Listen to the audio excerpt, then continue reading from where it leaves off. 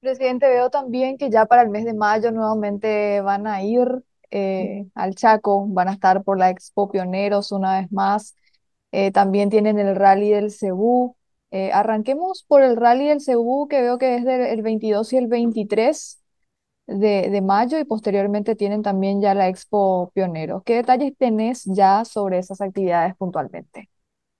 Bueno, la Expo Pionero, por supuesto, es una, una exposición que, que tomó su, su lugar en muy poco tiempo, una, una organización importante, eh, viene con, con todo un staff trabajando todo el año, entonces, por supuesto, es siempre una exposición muy importante. El año, el año pasado hicimos la nacional ahí y este año, por supuesto, que también vamos a apoyar, incluso le damos esta, este, esta, este peso con con esta actividad que es el Rally del Cebú, que va a ser una, una gira por, por diversos establecimientos. Eso vamos a estar también lanzando dos meses eh, antes del evento para que toda la organización pueda salir bien, pero van a ser giras a lugares terminando en, en, en- con el jugamiento mismo de, de la expo.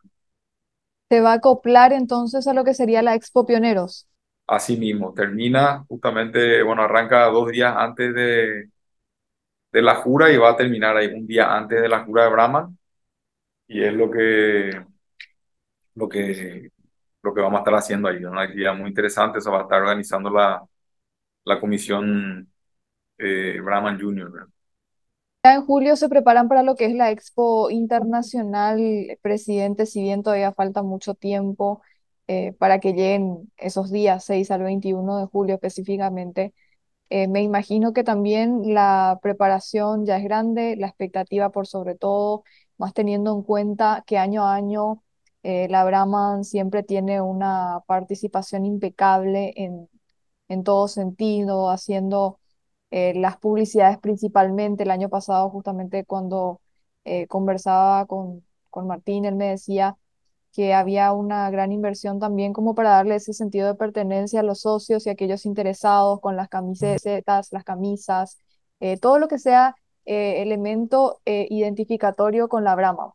Sí, así mismo. eh, eh, justamente, bueno, una, una de las actividades que, que también el año pasado tuvimos y siempre estamos llevando, arrancamos el año pasado en Innovar, llevando la Brahman Store ahí a, a una zona que, que es más que nada agrícola, pero también tiene su, sus zonas marginales que, donde entra la ganadería, entonces por supuesto que hay, hay también algo de demanda y quisimos estar presentes, lo vamos a volver a, a hacer. Eh, probablemente no esté ahí todavía en el, en el calendario, por eso vamos a estar de vuelta como asociación de Brahman en, en Innovar con la, con la tienda Brahman y ofreciendo todo este merchandising que, que realmente es- tiene mucha demanda, a la gente le, le gusta mucho y, y también ayuda a poder estar presente en, en los lugares, de esa manera promocionar la raza en todo el país. Presidente, teniendo en cuenta también el calendario, por ejemplo, agosto dice Expo Rodeo Trébol, también una salida de campo, en septiembre Brahman de Corral, otra salida de campo en noviembre con la Brahman Junior y en diciembre ya la, la cena de fin de año. Me imagino que también el calendario, a medida que pasa el tiempo, puede sufrir modificaciones, se pueden agregar eventos también eh, organizados por ustedes o ya esto queda así definido. No, esta es la base, normalmente puede agregarse algo como, como en este caso se agrega de vuelta a innovar, que eh, originalmente no estaba, se agrega la ida a innovar. Pueden sufrir algunos, algunos cambios, pero la base es esta, estas exposiciones, bueno, pioneros se hace en mayo, finales de mayo, Expo siempre es en agosto, por supuesto, siempre estamos ahí presentes, una de las, siempre es una de las tres exposiciones más importantes, más grandes del año. Por supuesto, la, la de julio siempre eh, eh, ocurre la segunda o tercera semana de, julio. Eh, bueno, después nuestra, nuestro evento de, de Brahman de Corral en septiembre ya es un clásico, eso está con algunos cambios en reglamento, eh, que vamos a tener algunos cambios de reglamento este año y, estamos preparando ya con, con más tiempo, con, con, con anticipación, entonces va a ser un, un gran evento también, ¿verdad? Eh, después tenemos salidas de campo también en noviembre y algunas, eh, no todas las exposiciones eh, regionales están en este calendario nuestro porque siempre apoyamos, siempre y cuando cumplan con un requisito mínimo de, de cantidad de animales, siempre eso también entran al ranking y, están, ¿verdad? Están todas las exposiciones regionales eh, donde vayan nuestros socios, la, la, asociación está, ¿verdad? Que con un mínimo de 10 animales y, y dos expositores. Presidente, hablando también un poquito de la situación en general, ¿cómo está el campo, presidente? Eh, ¿cómo están los productores? Eh, ¿cómo están viviendo también la sequía principalmente? Eh, esta faltante de agua que se hace sentir fuertemente dentro del territorio nacional. Y, y no está fácil la situación, si bien es fluctuante, siempre, bueno, hay partes que llueven, hay, hay, hay, hay partes donde llovió bien, hay muchas zonas donde, donde no llovió bien, hay mucho déficit. Y bueno, tenemos de todo, pero en general, si hablamos de una media, está, está por debajo.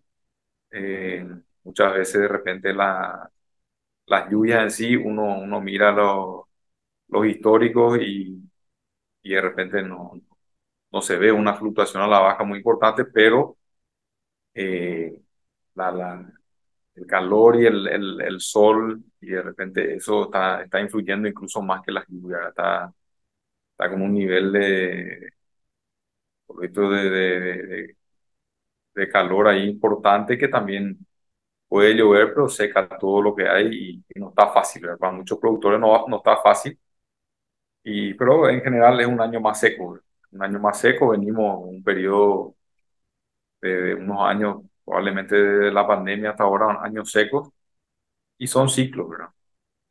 Sean ciclos que, que después se reviertan en años más húmedos, pero ahora venimos sufriendo y, bueno, eh, realmente recorriendo el país, que siempre estamos un poco a, hacia el sur, también Chaco Central y, bueno, algo de Bajo Chaco también, realmente el calor es importante trabajando en los lugares.